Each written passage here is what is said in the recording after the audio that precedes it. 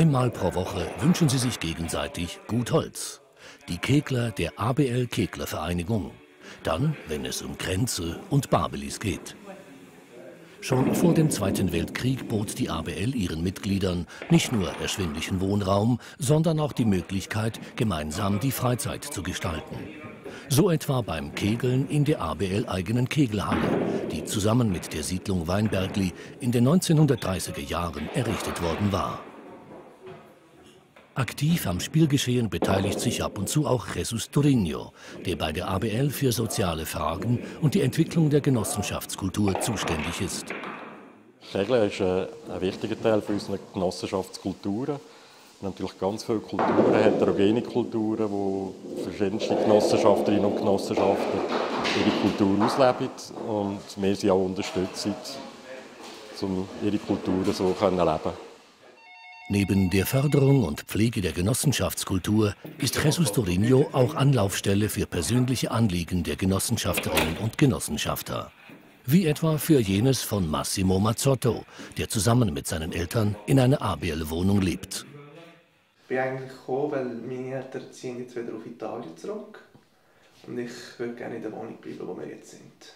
Das Problem ist aber, ich bin noch ein Student und kann mir die Wohnung selber nicht leisten. Okay.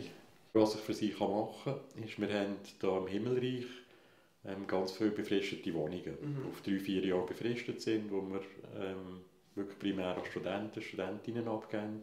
Mhm. Und es wäre echt super, wenn, wenn sie dort hin würde zügeln. Oder ich kann ihnen einfach dort eine Wohnung anbieten. Nicht nur für Massimo Mazzotto sucht der ABL Sozialarbeiter eine Lösung. Er schlichtet, wenn nötig, unter Mietern oder vermittelt bei Problemen an Fachstellen. Dann, wenn er selbst nicht helfen kann. Oft ist Jesus Torino auch unterwegs in den ABL-Siedlungen und trifft sich, wie hier etwa in der Trippschen Stadt, mit Genossenschafterinnen und Genossenschaftern. Mit seiner Unterstützung gründeten sie Anfang 2014 einen Siedlungsverein, der die Anliegen der Bewohnerinnen und Bewohner der ABL gegenüber aktiv manifestieren soll. Das motiviert, wenn man nachher merkt, ja, es bewegt sich etwas, es geht etwas und die Hoffnung, dass nachher mal irgendwann etwas wird dastehen, wo sie spielen können, die beflügelt einem.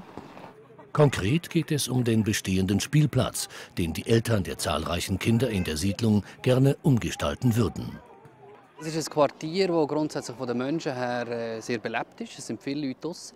Was uns aber fehlt, ist, dass wir da die Ecken, die die Architektur dem Ganzen geben, ein bisschen brechen mit ein paar natürlichen Formen. Und ein Spielplatz wäre super, weil Kinder im Moment nichts haben zum Klettern, nichts zum sich verstecken.